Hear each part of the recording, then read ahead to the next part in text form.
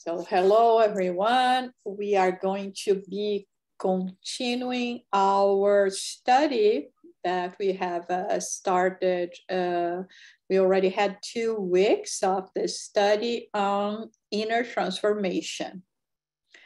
And um, as you may remember, the first topic that we talked about in terms of inner transformation was about self awareness.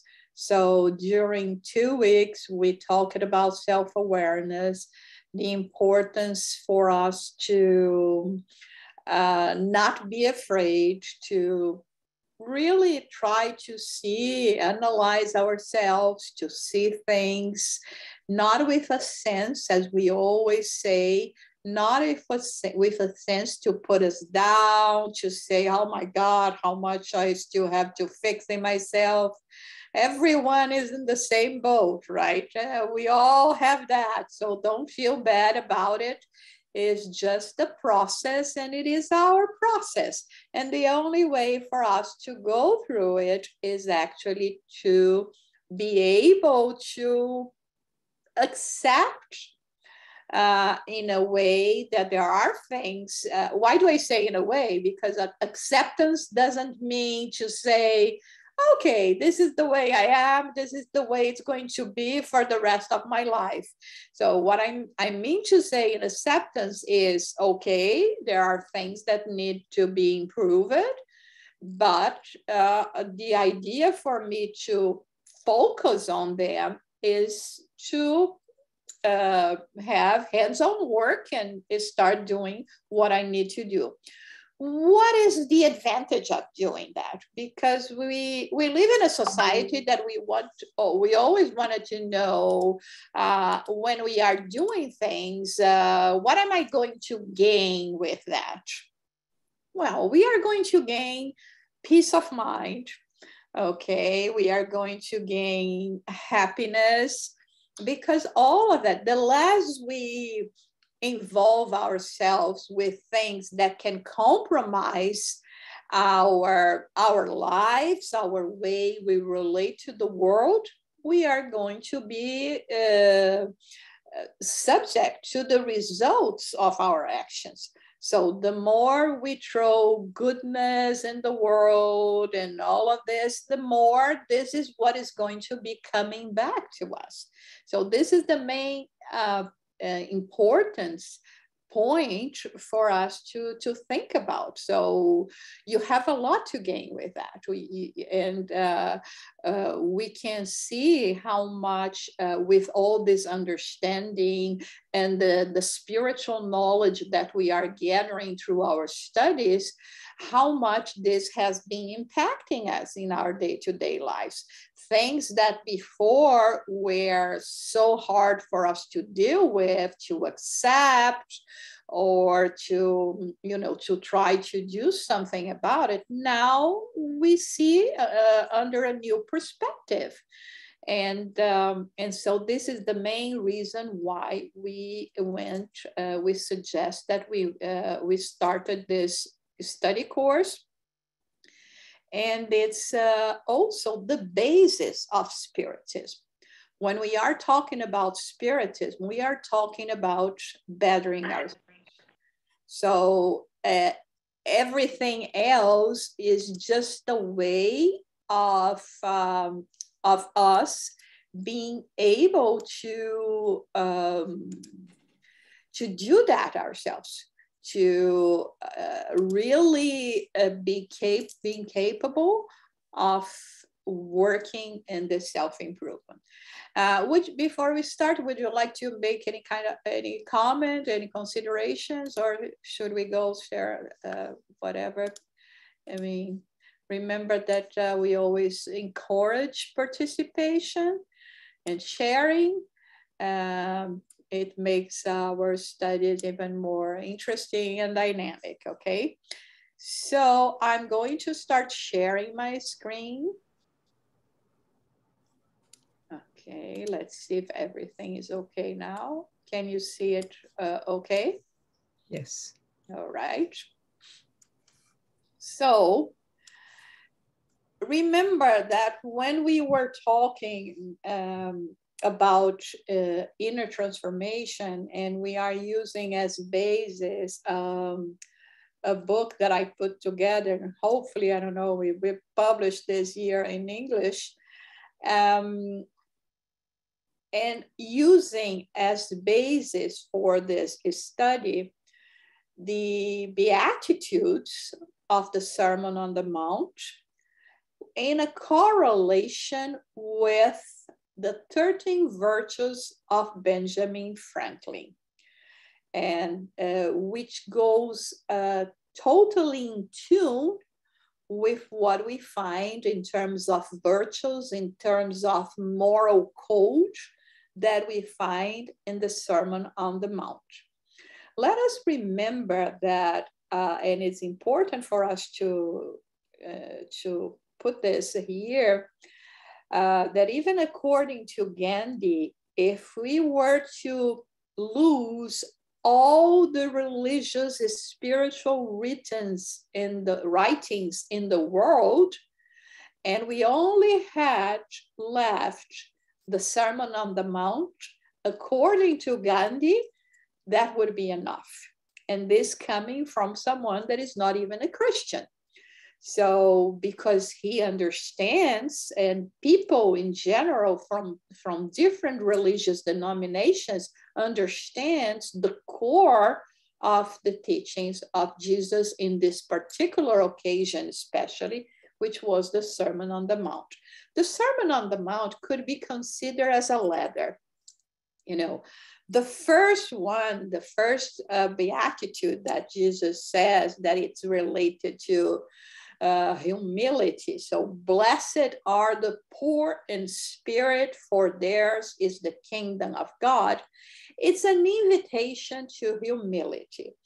And uh, it makes so much sense when we are thinking about this process that we are talking about of um, getting to know ourselves sometimes we think we know ourselves and uh, how many times we will say oh my god something happened and i had a reaction that i was not expecting right? So what does this mean? That i do not know myself that well. I do not know how am i going to react before you know good things surprising things bad things whatever. All the things is is just an, always a new discovery about ourselves. And not to mention that because our moods vary from day to day, what today could be accepted or seen as being a very good surprise, tomorrow I may say, no, I, I, am not in the mood for that, right?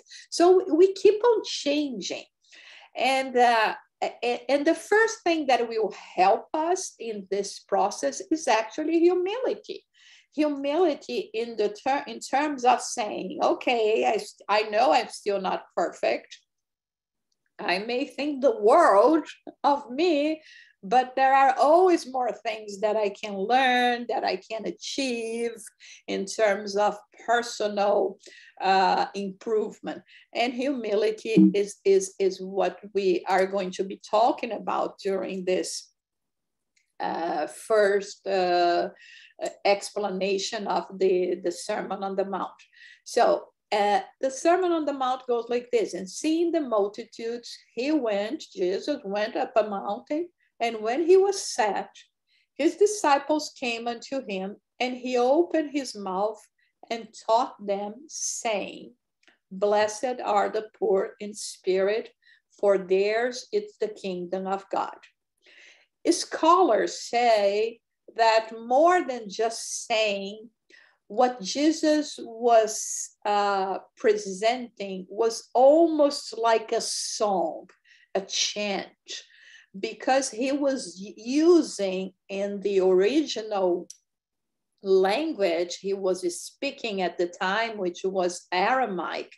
He was uh, using uh, rhythms, uh, rhymes, and uh, the, the the tone, and all the way the way Jesus was actually presenting the thing, the the this a Sermon on the Mount was almost like he was singing to people, or at least uh, uh, uh, saying like in a way of a poem.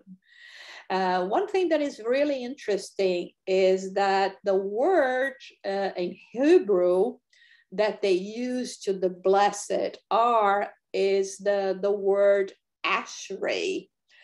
And uh, this is the first word as well that people were familiar from Psalms, from David's Psalms, which made them very comfortable because they were saying, I mean, or, or they were thinking on the back of their minds, uh, that, that that was familiar. That was the way that they knew about the old scriptures the way that uh, david addressed them in the psalms saying ashrei as well and ashrei in, in terms of inviting them to betterment and jesus was very careful in speaking to people according to their own times. This is why he used parables, for instance, because it was the way that people, you know, that could not read and write, uh, could re- memorize the teachings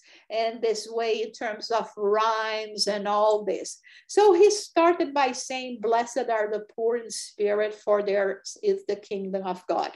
Again, very intriguing, very intriguing for the civilizations of that time because they don't want to be poor in spirit. They don't want it to be humble.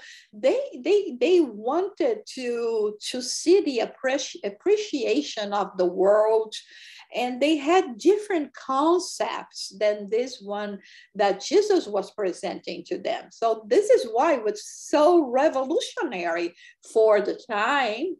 Even the word that they use it in greek to at the time to translate it because we have to remember at the time they used hebrew um, aramaic Greek and Latin because of the, the, the domain of Roman, because, because of the domain of Greece in terms of intellectual values. Uh, we have to remember Socrates, Aristotle, all that. And the word they use in, uh, in Greek is a word that is, say, is called um, Makarios. And Makarios, in, in terms of, you know, being a place of happiness, they refer to as being the Mount Olympus, where the gods lived, where you had all the happiness, all the prosperity and uh, they use it to denominate one of the the island that they had in Greece. I think it was Cyprus, as being almost like a Makarios, meaning they had uh, they had so much reach and natural resources that it was a place of heavens and happiness. And so now Jesus says that Makarios, prosperity, happiness, felicity actually means be poor in spirit. So do you see how hard it was for all that to be implemented and accepted?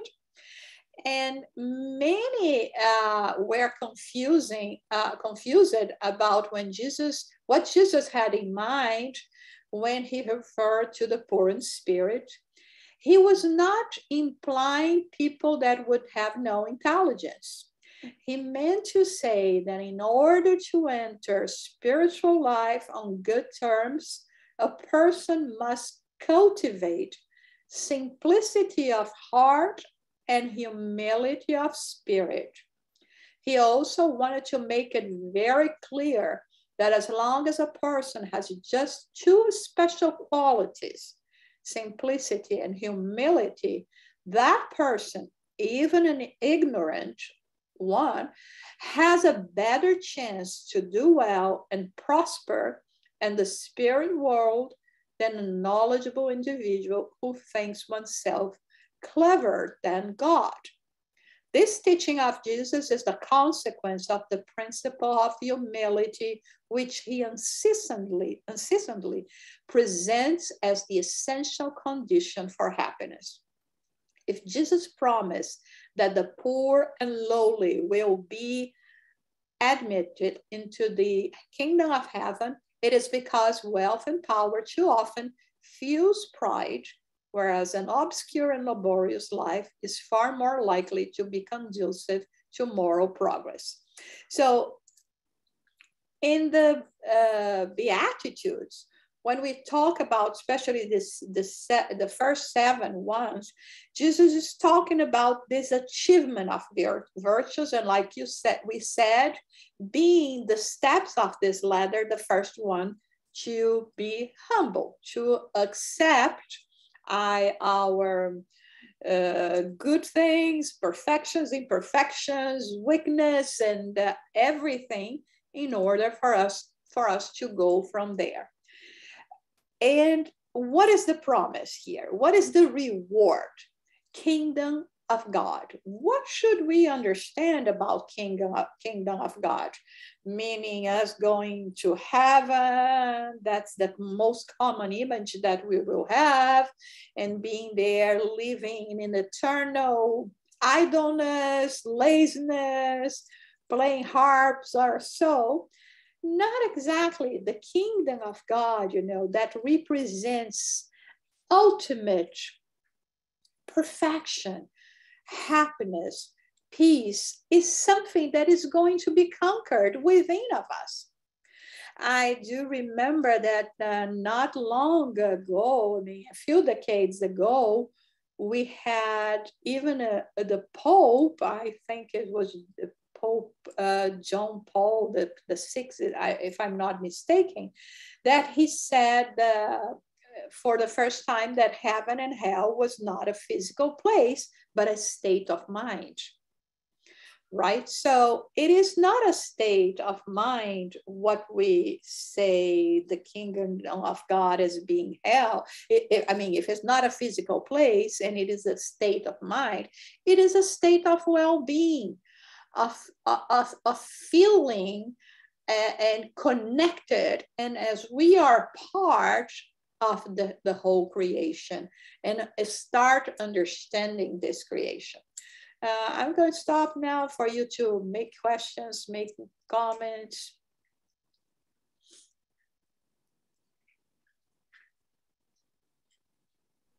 Anyone?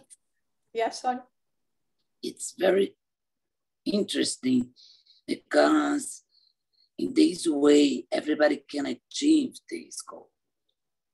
Poor, rich, boss, employee. Then it's amazing to to see this first step. It's for everybody to achieve and not for privileged people and Mm-hmm. It's interesting what you're saying because it's always good also to emphasize that uh, Jesus here is not condemning uh, wealth. Okay, it's uh, is a, a, matter of how we place ourselves, and we will see along uh, our study today that it has nothing to do we may find person that live in a very difficult financial condition, extremely pride, you know, lacking all humbleness.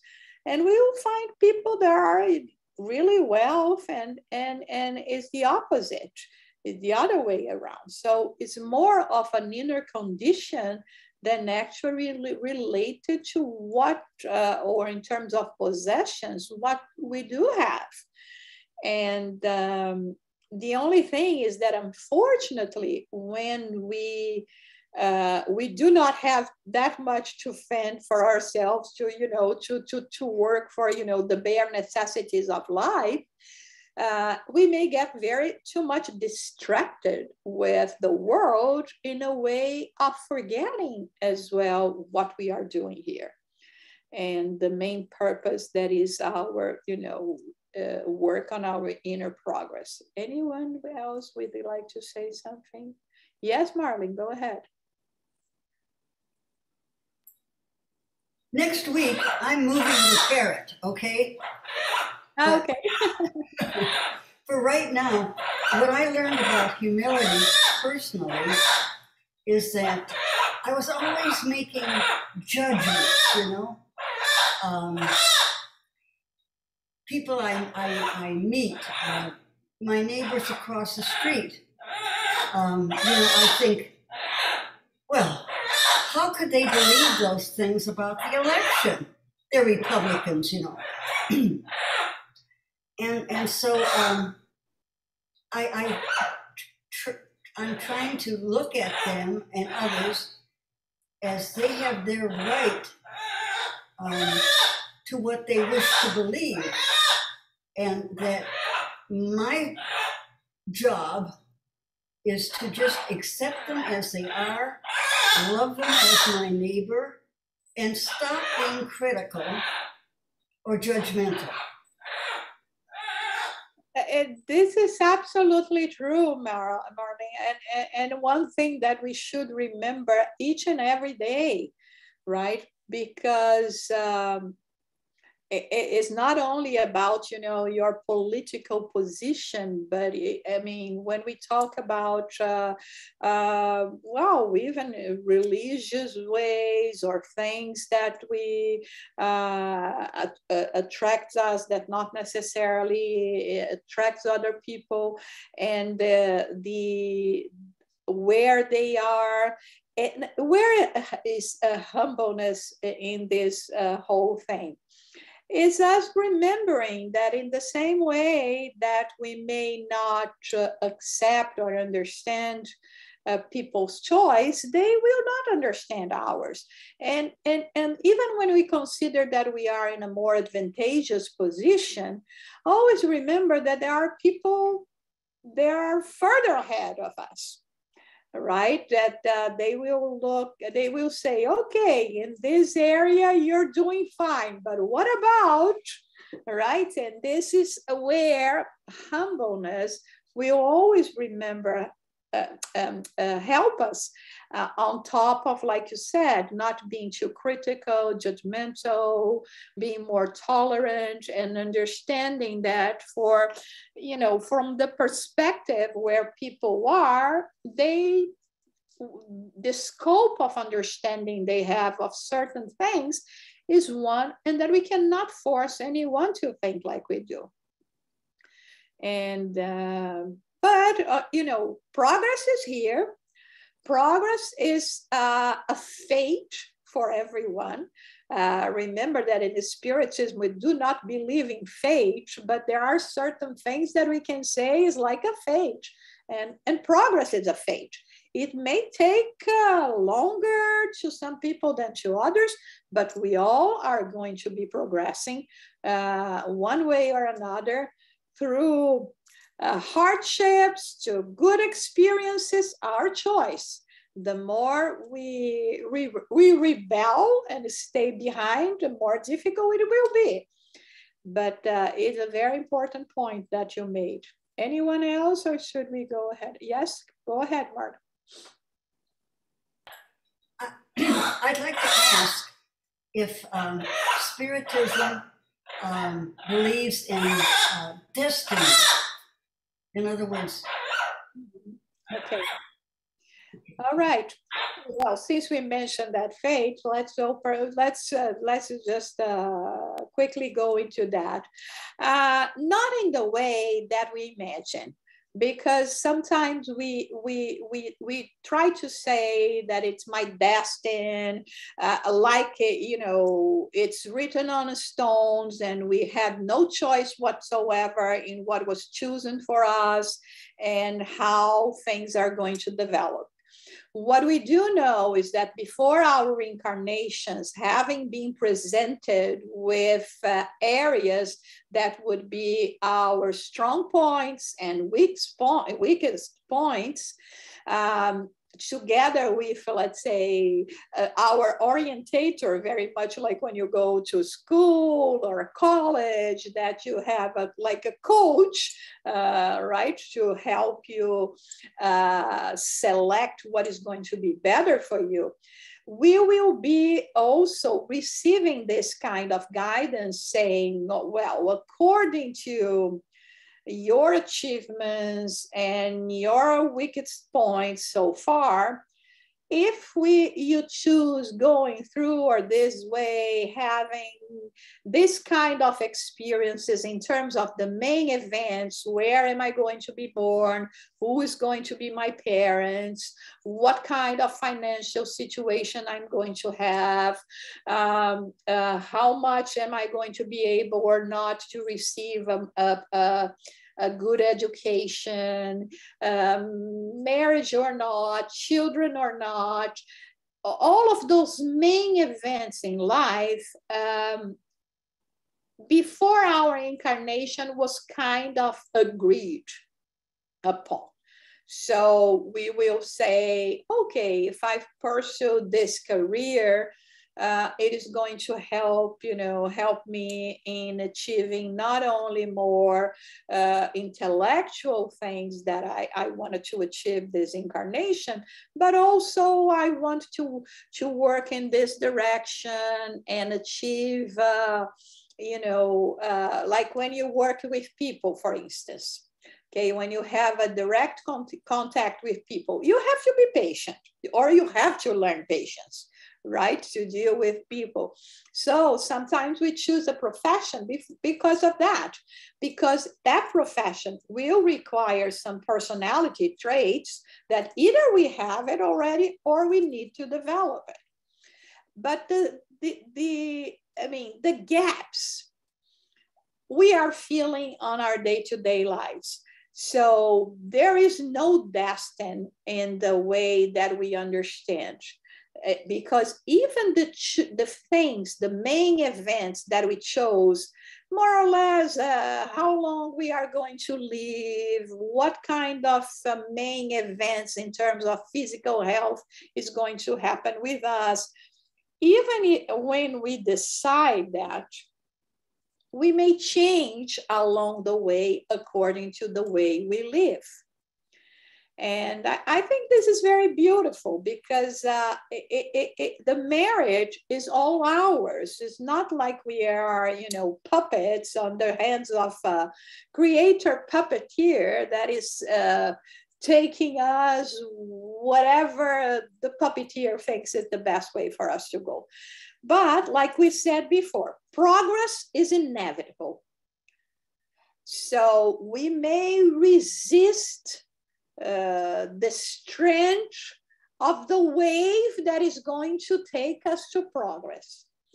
But it's going to happen sooner or later. It's going to happen, and uh, and this is one thing, Marlene, that uh, it's quite hard sometimes when we are getting in touch with all this uh, this spiritual values and knowledge, because like we commonly say here, it's so much easier when we can blame, uh, you know, luck for everything, saying, oh, I don't know, mm, uh, God was playing dice and uh, mine were one and one, you know?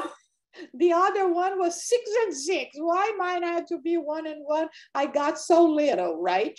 So, no, no, this is not what happened. This is us, this is our responsibility. And even the things that let's say we pre-select, it is because of our marriage or the marriage that is going to make us uh, choose a, a, way of life or things, main events in our lives that are going to teach us uh, about things we don't know or did not value. For instance, and this is just an example because one hard thing about spiritism is that there, there is never just one answer for a question. Uh, couples that cannot conceive. Maybe in previous incarnations, they were very careless with children.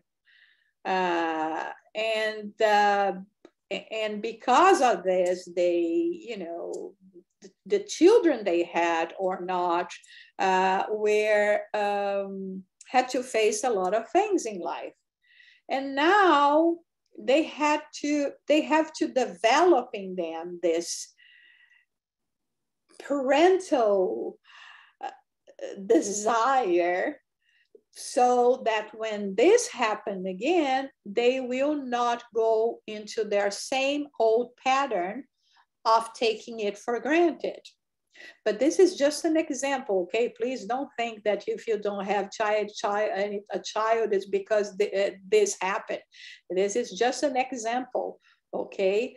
Um, uh, following even the, the that that teaching from Jesus, uh, if a hedge is a motive of scandal, uh, better not to have the hedge, because then you will go into the same pattern as well and it's going to compromise your life even more.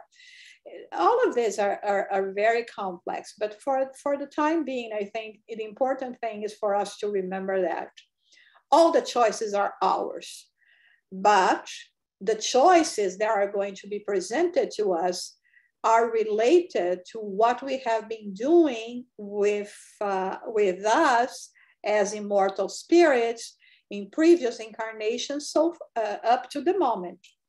Because let's let's say that I uh, that I say oh my god I want to be as rich and successful as Bill Gates. Then you say really? In the previous incarnations you were even king and queen of a big kingdom. And look what you did. You re- you you messed up so many times because of extreme richness wealth, do you really think this is the for your best interest? And, and, and here it's not even then they are going, then I mean our advisors, they are going to forbid us to, to live a life like this. They are going to advise us and show, look, look what you did in the past. There, if you choose this path again, there is a chance that instead of reaching your aims or goals, you're going to, like, you know, a board game, move back to two houses, right? So uh, this is what uh, happens when we um, uh, we have this kind of situation, and uh, and it's so incredible. Okay uh, someone uh, dropped me as being the host here. That's why my background changed. Okay. So really, our previous incarnations um, guide us into what we think of as our destiny. Is that right? Absolutely right. Exactly that. Thank you. You see, uh, Marlene, sometimes I, I, I give very silly examples, but I mean, I do not go to law college to, after graduation, say, well, I, I don't want to practice law. I want to be a doctor. I want to be a surgeon, right? I mean, I don't have the competence to do that. So in a new incarnation, it's the same thing. I may wish to do some things, but uh, if I'm not equipped uh, to do those things, uh, uh, uh, how can I how can I do that? So I'll have to go according to the credits, you know, the achievements that I that I have, and everything with a name always always to make to lead us to happiness.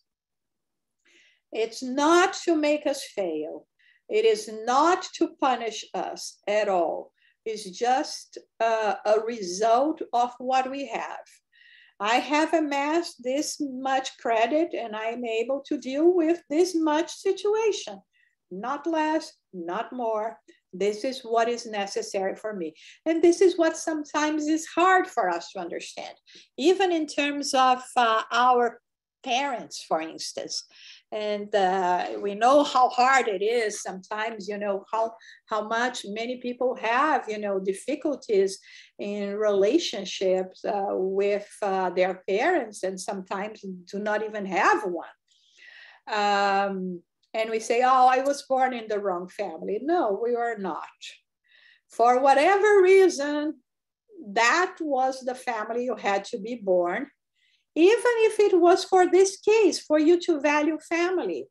For you to be born in such a dysfunctional family that now you start valuing, valuing uh, what it is to have, uh, you know, uh, a more harmonious families. We will see harmonious families in the world. And so we will come to the conclusion that is also uh, something that we have to work for. It's not just, you know, blaming everything, everyone else that is in the home but it's something that we have to, to learn. Or if you are in a dysfunctional family and you are so much better than they are, so maybe you were there to help them not to be that much dysfunctional and not to put yourself apart. So you see, it's it's always it's there is always a lesson there is always a reason why we go through things always with a name for us to learn lessons, to achieve virtues, and with that, to reach peace of mind, to reach peace and happiness. Okay, so let us go a little bit more here. So, uh, generally speaking, in our world, knowledgeable men and women consider themselves so erudite that believing in God or anything spiritual for that matter lowers their position. So, and unfortunately, this is one some, one thing that we see, and uh, we quite often we mention that we could compare ourselves, you know, to the phases of, you know, from being born to reach adulthood. Uh, when we, we, reach our preteen or teen, teen age, where we, we believe we know more than our parents, we, we know enough, they are old, old school, they, they are already, you know, uh, not uh, knowledgeable of the current things and current values how much we hear that from uh, from people right from our children. And sometimes you know there are not that much of a gap because there are parents that are started having children very early and there is not sometimes that much of a, gap. Sometimes even two decades or less than that. How how do we change that much in two decades right? Anyway uh, it seems that unfortunately, the more we start developing our intelligence, there is a tendency, which is not a rule, okay, but there is a tendency uh, to dismiss uh, anything spiritual. Starting with God. No, it's just something that we don't know yet, but uh, we know more than God, right? Or that would be a God and um, and this is where what is lacking? Humility. If we look at history uh, there was we can see how much we didn't know how much we have achieved today and the the proper conclusion would be okay i may think that i know everything today. But what am i going to think in a hundred years from now right? According to what we see in terms of history, 100 year, 100 year makes a, a huge difference in terms of uh, advance, uh, advancements as a whole. Remember, I always like to, to mention that as well. Uh, up to 1870s, so the, ninth, the end almost of the 19th century, according to the church, women did not have a soul. So for uh, in the before Christ, after Christ era, for 19th century, we were considered not to have a soul. That's why we were traded. And actually, this week I was thinking how difficult it was to be a woman, right? I mean, you have no value whatsoever right? It was, oh my God, that's why everyone, and up to today, many couples wish they have they have a son they wait for a son instead of a girl. I think is this you know uh, it's still this idea that a woman uh, means cost because you even have to pay a dowry to the husband so please take this woman away from my home. I don't want to have this burden anymore right? So my god this is we are talking 19th century and not to mention, you know, the right to vote for not only women, but uh, other ethnicities. And, and, and, so we see how much we, we changed, uh, you know, going from chariots to automobile, right? All of that. And so for us to believe that we know it all is a big lack of humility. Okay, are we better? Oh, so much better. There is much ahead of us. Oh, yes, so much ahead of us. Comments, questions?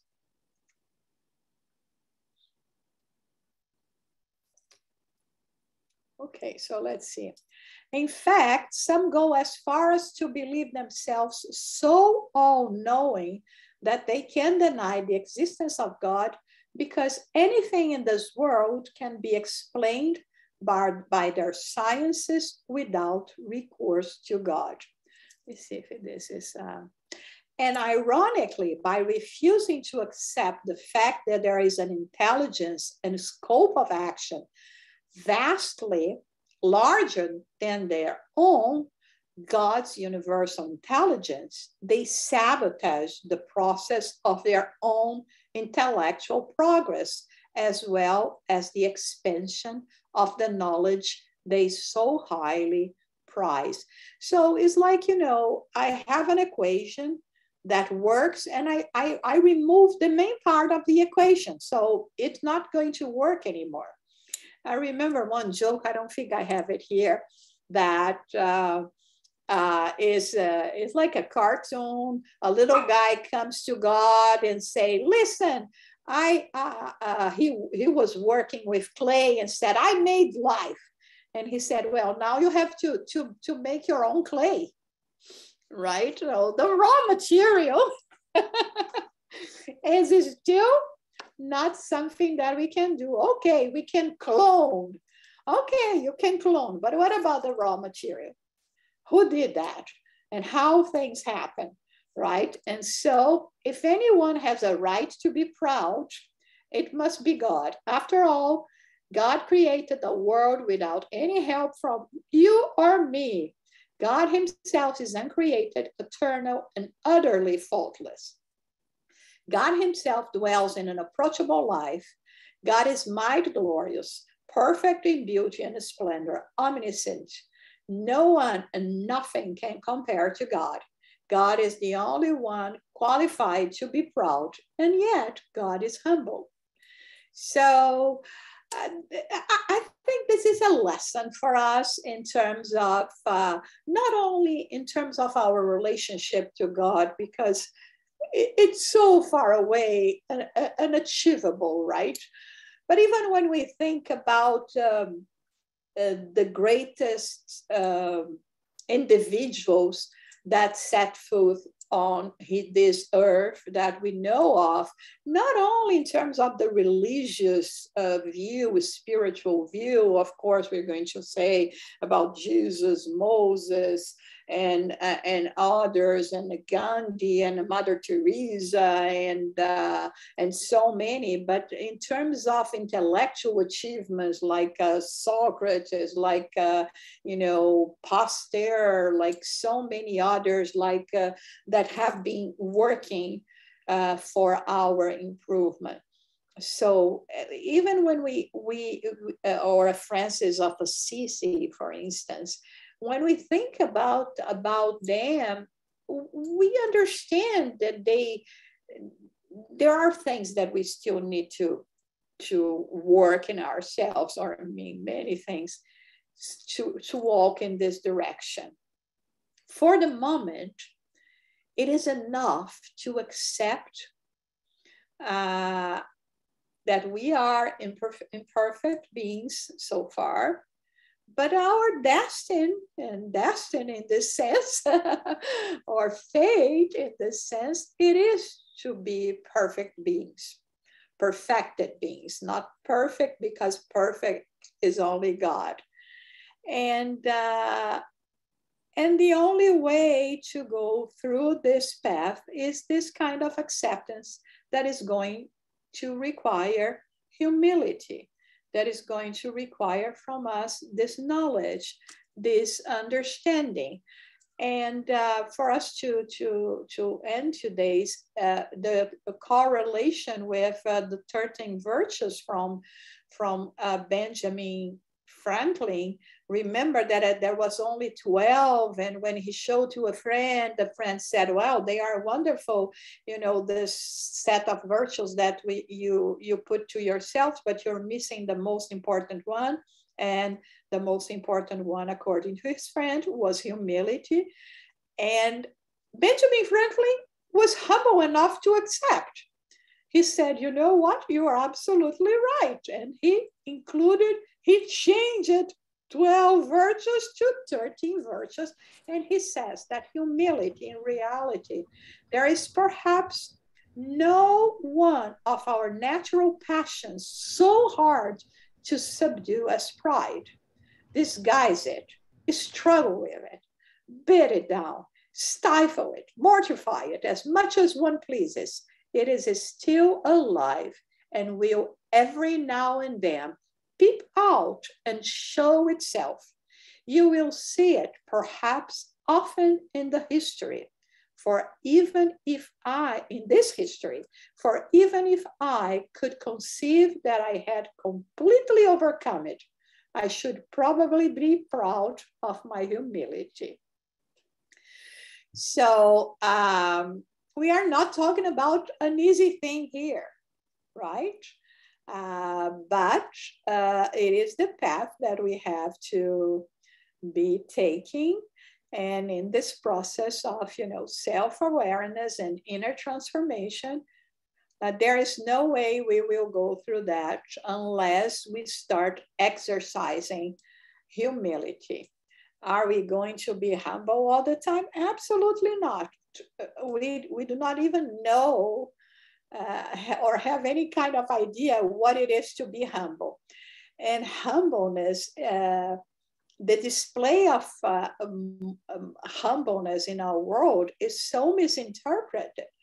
Uh, many people will even think that is a fake uh, position, you know, false modesty, things like that.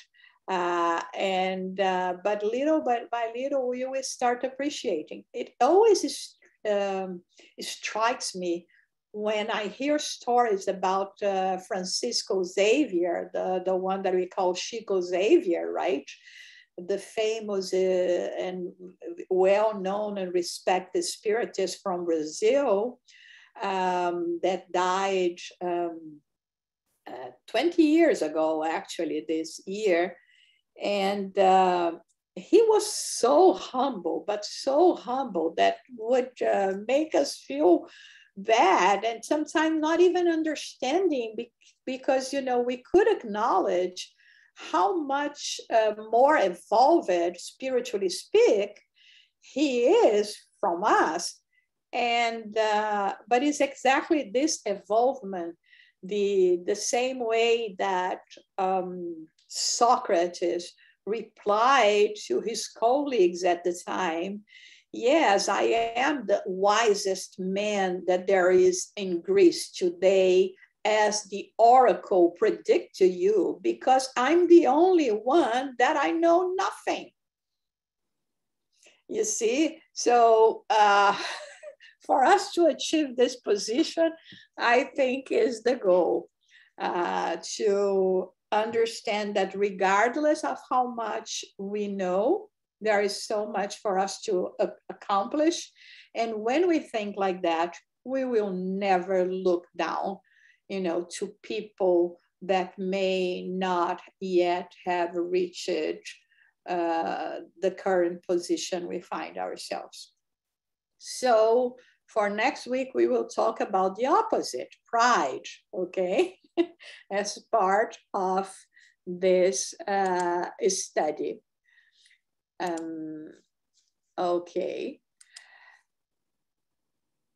Uh, any questions or comments that you would like to? Yes, thank you very much. All right. Okay. Yeah, a lot of food for thought, right? so, homework for the week. Let's try to exercise humility, okay? Be mindful of your thoughts and actions and uh, take notes if you want to take notes. all right, but just think about it. All right. Okay. Thank you, Jussara, for your beautiful insights. Yeah, thank you.